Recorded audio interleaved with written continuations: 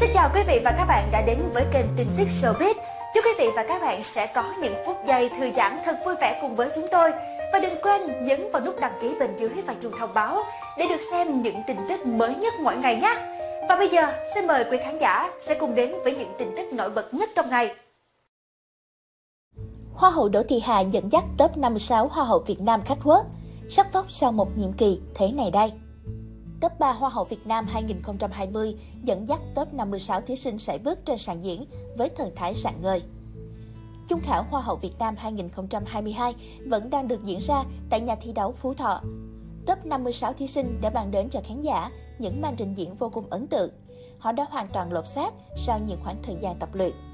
Song song với màn trình diễn áo dài và áo tắm, top 56 thí sinh còn có cơ hội khoác lên người những mẫu thiết kế mới. Các người đẹp được chia thành 3 nhóm để chào khán giả. Điều đặc biệt chính là sự góp mặt của top 3 Hoa hậu Việt Nam 2020, Đỗ Thị Hà, Phương Anh, Ngọc Thảo.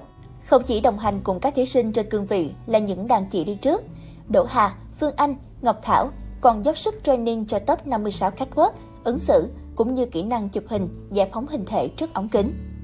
Sau 2 năm đương nhiệm, ba nàng hậu đã chứng tỏ bản lĩnh thượng thừa về mặt trình diễn cũng như nhan sắc ngày càng lên hương. Được sánh đôi cùng với các đàn chị chính là một trong cơ hội quá lớn cho top 56. Những sự hợp tác như thế này chắc chắn sẽ góp phần không nhỏ mang dũa kỹ năng cho họ trước thêm chung kết đang cận kề. Những cái tên nào sẽ chính thức được gọi tên vào vòng chung kết?